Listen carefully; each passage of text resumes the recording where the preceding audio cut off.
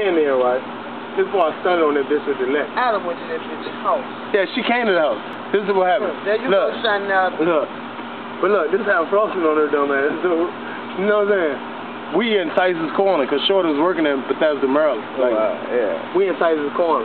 So me and Shorty, you know, Shauna told me I was a lame, dope head, you know, all the same stories. So I'm like, cool.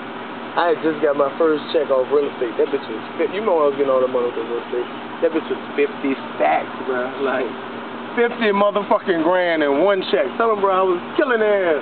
Boy, the truck, Lexus, I ain't bullshitting. How was, look. So look, she she told me that next day I was getting the check like, I had already closed and I was getting the check like the Thursday. I wish another woman would have you. Thinking of her like, that real estate shit ain't working. Why I work for the money? It ain't gonna work for you. I'm like, man, shit take time. No, you just a loser.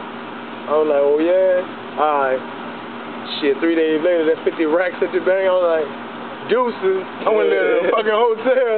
Street was 200 a night. I ain't give a fuck. You know what I'm saying? I'm ordering filet mignon and everything. Yeah, me and Charlotte was going to the DC game. I'm like, bitch, you ain't believe. I'm like, oh, oh, now that I got the money, you you believe me. But just yesterday, I was a dope head. Dope head. Yeah, alright.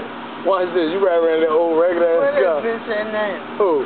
That real estate bitch. No, I was a real estate nigga. She was she was I'm just. about that other girl. Oh, she she doing her. I don't know where she at, but I'm number one on her. I know where I'm at. You feel? She see me, cause I'm the biggest nigga doing it. Everybody talking about Wanda.